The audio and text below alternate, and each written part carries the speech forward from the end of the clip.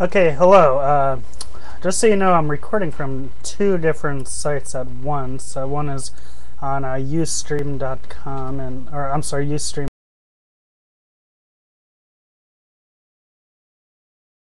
TV as well. If not, um, I may have to record them separately later. But I mean, basically, what I'm going to say is about the the same either way you want to look at it.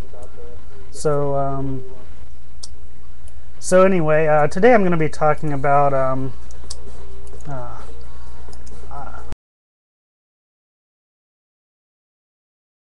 hold on a sec. These pop-ups and they play music half the time. Why I don't know. So if anyone knows how to fix something like that, I would really appreciate it because I really don't want these pop-ups to appear.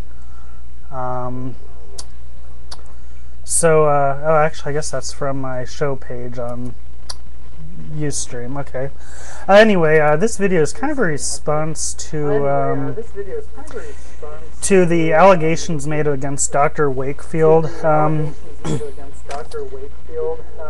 if you don't know, Dr. Wakefield is a uh, is kind of a uh, doctor who uh, he's done so. He, he's actually had all kinds of awards and stuff. I mean, I encourage you to try and Google him. You'll probably find a lot of uh, you know a, a lot of uh, issues people have about him at the same time.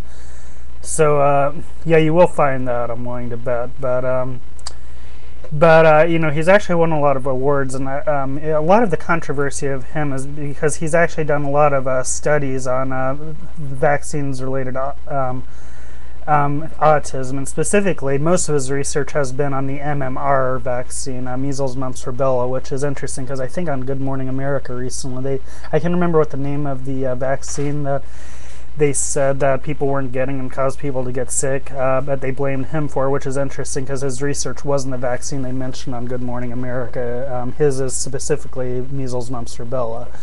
Um, so I'm kind of doing a response to this, uh, to uh, to uh, you know these allegations, which I will say are these are false allegations. That he's done the studies, he's done many other studies on this. Other people have taken his information, you know, his studies and replicated them, um, and um, and the, so you know basically, so basically these are false allegations. Um, um, but I'm not here to really defend. I do like the guy, but um, but you know, here's some questions I want people to ask. Whether you're um, a parent, you know, someone considering getting the flu shot, um, or uh, you know, a doc, especially a doctor or someone in the medical field. So. I have kind of some questions that I'd like to go through and ask. So uh, anyway, that's what I'm doing on this video. So hopefully it, uh, hopefully this goes well. Um, and if you're on my YouTube account, I'd appreciate it if you like this video, if you think I've said some interesting things. And I'm going to leave some links in the description, but, uh, you know, please click like if you're watching my this on YouTube. That way, you know, people can find it because I think, and I'll be honest, a lot of these, some of these are kind of my questions I've asked. Some of these are, uh, you know, questions I've gotten either from reading or listening to stuff that Dr. Wakefield has said or other people have said on this issue. So here we go. Why is it if someone in the medical field starts questioning vaccines and possibly speaking out against them and placing a link between them and other things such as autism, there then the person is in the medical field is stripped is often stripped of their ability to practice medicine why it's basically so they basically lose their credentials. Why is that? Isn't science isn't the medical field supposed to be based on science? And if so isn't science supposed to be based on the study of uh, the study of the world around us asking questions asking why? So why is it if someone starts asking questions and you know basically asking why you know with the issue of vaccines then you know this kind of thing happens where they're stripped. Um, okay here's my next question uh, why is it vaccines still contain harmful ingredients ranging from thimerosal or mercury, aluminum, laundry detergent, etc.? You know, and there's a whole list of things that you can find. You know, just type, you know, Google vaccine, Google um, harmful vaccine ingredients, and you'll find tons of harmful ingredients in any of them. And I, I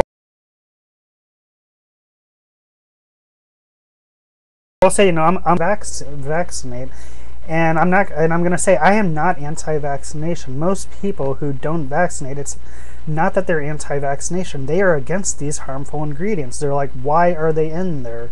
There's no reason for them to be put in there. So you know what? If they took out these harmful ingredients and all they put was like you know measles with you know a little bit of gelatin, I guess to preserve it or something like that, I would probably you know take my daughter and get vaccinated. You know, I, I would love to take her and get vaccinated against measles, mumps, rubella, and all those other things. Um, you know but there's just seems to be too many risks when you look at the ingredients these are most these are poison what are they doing in there so that's my first question two or I'm sorry, three. Why is it if if I let's say I was a pharmaceutical company who wanted to make a blood pressure medication, to do this, I wanted to combine three blood pressure pills into one.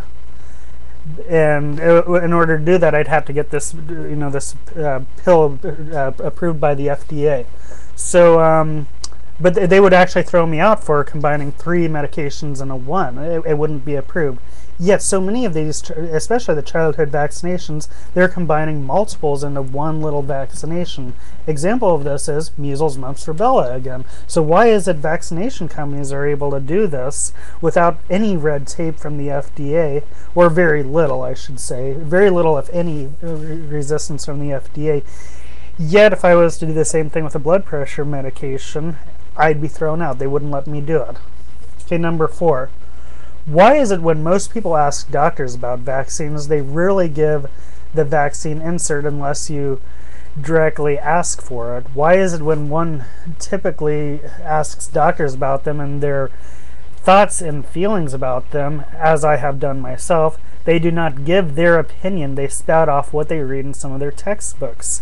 And I'm not saying they shouldn't use these textbooks at all, but you know, do they have real life examples? Do they have anything more than just what the textbook says? Because it's a little bit different story, you know.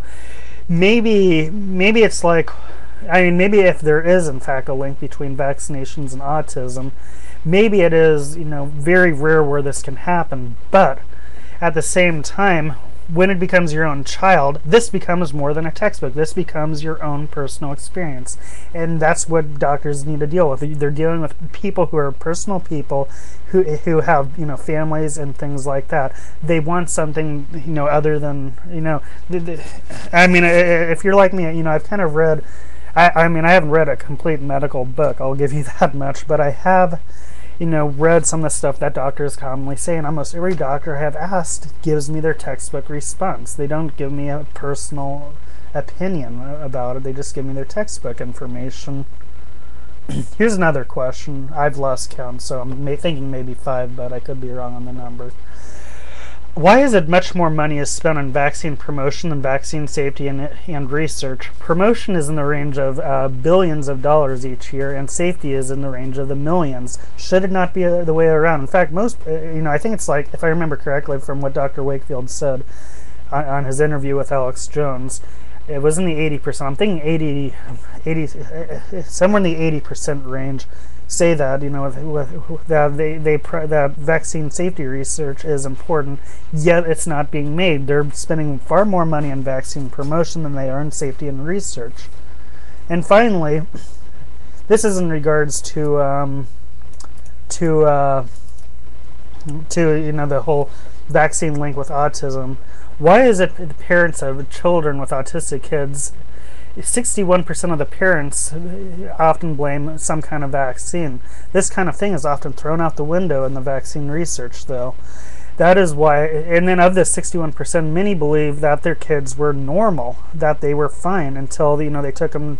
Usually, from what I understand from Dr. Wakefield, it's the uh, third booster shot series or something like that where this is triggered. Their kid was fine healthy eight, you know maybe 18 month year old they take them to get shot and then they call my kids having seizures or something like that.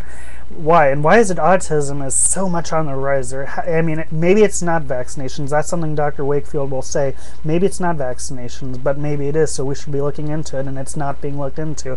Autism has risen so much and not just autism other things too so, you know, why is these? So, anyway, these are my questions, and uh, I'll leave the link to uh, Dr. Wakefield and the Vaccine Safety First website, where I believe you can look at you know these researches that you know him and other people have done. So anyway, uh, that's my video for today. Uh, take care.